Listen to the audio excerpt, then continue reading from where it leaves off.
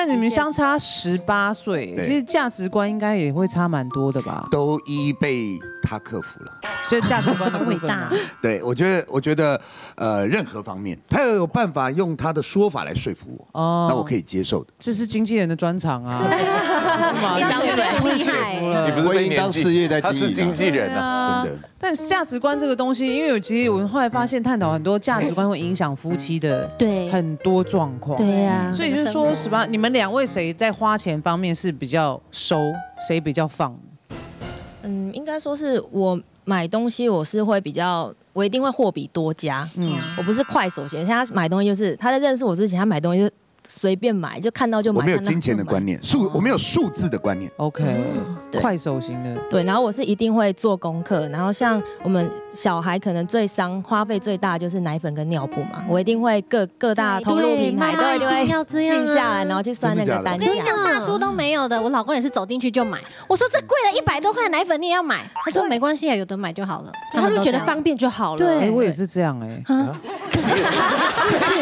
你是，你也是大叔，你是大叔啊，我是有我是有大叔的心灵，因为我觉得贵一百块，反正也是自己小孩在喝，有差对吗，你？有你有觉得你会发现那个一包贵一百块就还好，嗯。一包贵一百块，然后可能他是三四包贵一百块，你就觉得还好啊，对。然后就一次都买，但他们很厉害他们很厉害，比完以后发现，哎，真的好像半年就有省一一小笔可以出去出去露个营什么的金钱下对，我们就是默默存下这些钱下他们半来他。们这样弄一弄弄，半年省了一百多万，是到底多贵啊，那么贵啊？到底太贵了超省？OK，所以你是货比三家型的，就对。对，然后像我还记得有一我们家里有小孩，一定都会用那种韩国很厚那种四折地垫。对，然后 那时候买的时候，因为我看网络上就大概都要七八千块那样，对。然后那我就看网友说，嗯，在韩国网站直接买，然后直接寄到家里，一模一样大小，买一送一，在含国际运费，这样不到四千块。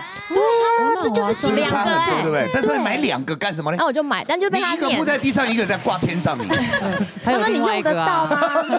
虽然那个到现在还原封不动放在家里、啊，可以转对啊对啊，转卖是一笔钱。没有，他有他对就，他没有转卖，他放着。然后那个地垫呢，正常那个小孩子现在比较会翻，然后那个地垫就我在睡。这样变他的床。那用到了因为对体体重有点重，之前为了吸增肥，体重有点重，那地垫就凹了。他说：“ 你看吧，是不是有用了吧？现在可以拿出来换了吧？” 那亮哲哥嘞，你觉得这对夫妻你观察他们的金钱观，你比较赞同谁的？个人呢是比较站向右心哥那边了。哎，所以你也是进去有了就买。对，我也就是我就是目标目标导向，因为其实男生就是这样，很怕浪费时间，就是目标我没有办法。去逛街，你知道吗？对，所以是目标导向。我知道我要买什么，进去觉得适合我就拿了就走，我也不会去比价，因为然后就刚刚讲到比价，然后也要再转卖，我觉得那个手续真的太麻烦。而且你们还比我勤劳，你们还会去那里买，我就是直接上网订一订，他就送来。呃 其实我们不是勤劳，是不会。哦，对，我们其实我们其实 不会，所以才需要这样精打细算的老婆。嗯，你们跟老公的价值观是一样的吗就？是没有协调好，就很容易吵架你。差的比较多，你应该比较有感吧？有哎、就像我老公买东西，就像刚刚说，他真的是快很准。然后像我就是我真的一定要一直比价，然后可能就觉得哦太贵，那我不买。然后他就会叹一口气，然后等我转身的时候，他就把它拿起来，然后就会帮你买掉这样。带妈妈去药局，然后买什么尿布、奶粉，你没有比价你就完蛋。可是如果你带他去精品店说这太贵了啦，不要买，然后你转身买单，他会非常开心。笑到裂到这里，裂到这里妈妈，你嘴巴怎么变那么大？裂嘴里。哎，可是我我有一个问题想问，像他们如果年纪差这么多的话，吵架你会不会说我跟你有代沟啦？你会讲这种话？我会哎、我就说你就是老人家啊，我就直接骂他，我说他会生气吗他？不会生气，但他就把我当小孩，因为他就是我跟他的年龄。可是你现在穿得很像婆婆哎，